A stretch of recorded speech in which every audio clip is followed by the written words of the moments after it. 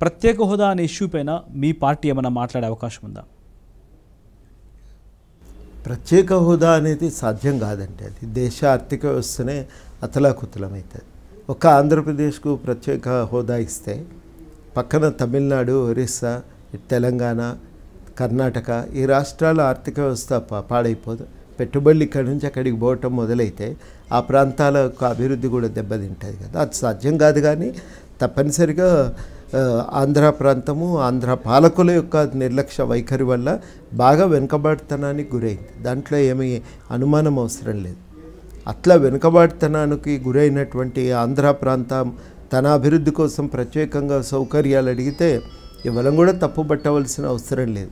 తెలంగాణ తన అవసరాల కోసం తాను ఢిల్లీ నుంచి కొట్లాడుకో ఢిల్లీతో కొట్లాడవచ్చునేమో కానీ ఆంధ్ర ప్రాంతానికి కొన్ని సౌకర్యాలు మాకు ఇవి కావాలి మాకు మీరు సహాయం చేయకుండా బతకలేమని అడిగితే మనం ఎందుకు వ్యతిరేకించాలి